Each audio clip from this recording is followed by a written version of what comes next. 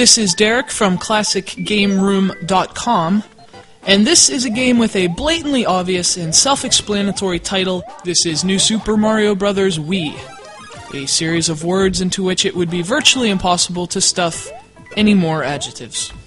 And that is unfortunate because I have a whole list of applicable descriptive phrases for this game, the most celebratory of which would be divine old school platforming euphoria, and the most critical of which are hey, where's the cream filling?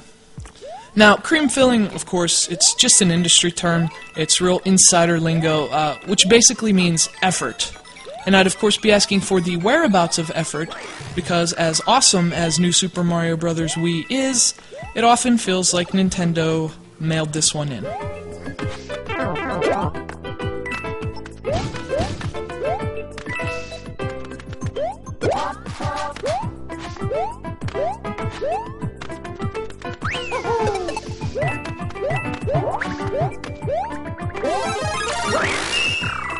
New Super Mario Bros. Wii is, um, well, it it's exactly what the title says it is. I mean, what do you want me to say? That New Super Mario Bros. Wii is a new Super Mario Bros. game for the Wii?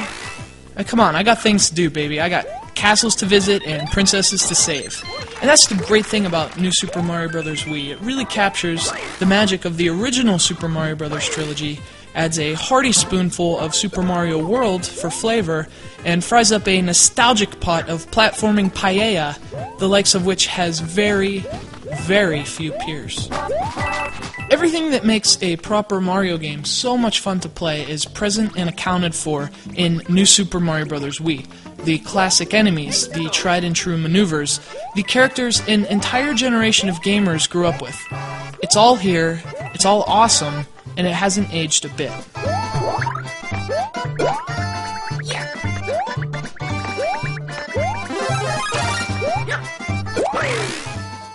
The twist with New Super Mario Bros. Wii, of course, is that it's the first Mario Bros. game to really focus on multiplayer.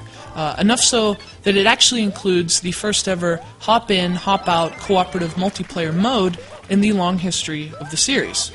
At any point in Mario's adventure, up to three other players can grab a Wii Remote and join you on your quest.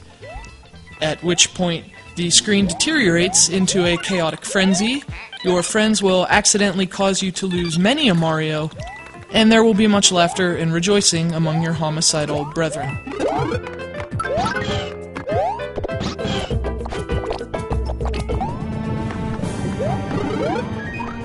I wasn't at all looking forward to playing a Mario Brothers game with another player on the screen, to be honest, let alone three other players.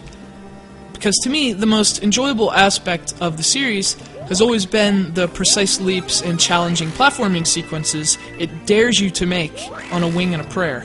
Uh, traits for which multiplayer would seem anything but beneficial. But I'm happy to say it works really well in this game, and provided you have a few willing cohorts, running through the Mushroom Kingdom is actually a lot of fun with a friend or two. Of course, multiplayer wouldn't be any good if the game itself weren't fun to play. And it is. It's very fun to play. In fact, it's ridiculously fun to play, and it serves as a forceful reminder to the entire industry that blood, guts, and 1080p really aren't worth a damn unless there's a fun game underneath the hood. New Super Mario Bros. Wii has a friggin' Hemi.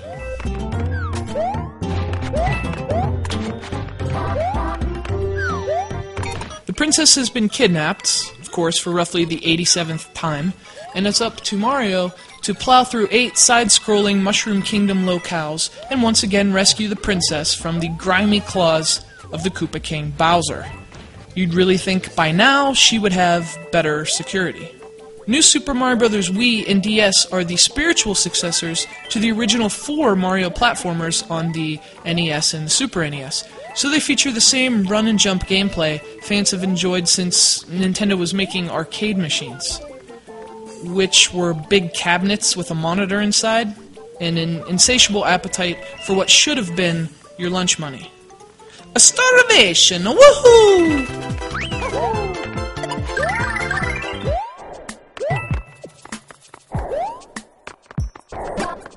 Anyway, the worlds are diverse, the platforming is much more challenging than you probably think, and the gameplay and controls are the status quo.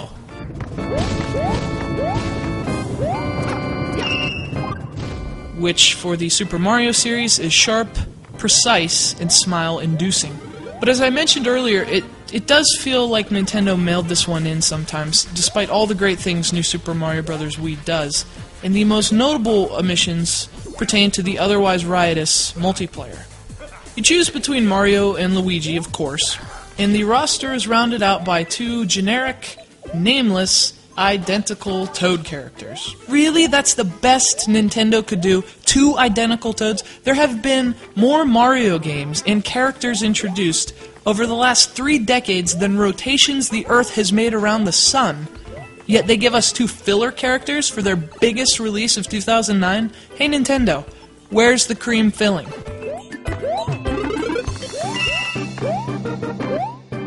This game misses loads of opportunities in the online realm. No online multiplayer, no online leaderboards, no level creator with online level sharing, eh, particularly for a game so much fun to play with others and for a series with such a devout community of fans. These seem like pretty obvious features to include. But Nintendo apparently is still under the impression that all of you and all of your friends, relatives, and acquaintances live on the same block.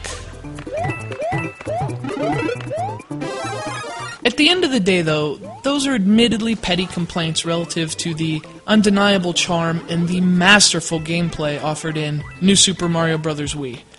And like the heaping plates of pasta your little Italian nonna used to make, uh, you'll definitely, definitely go back for seconds.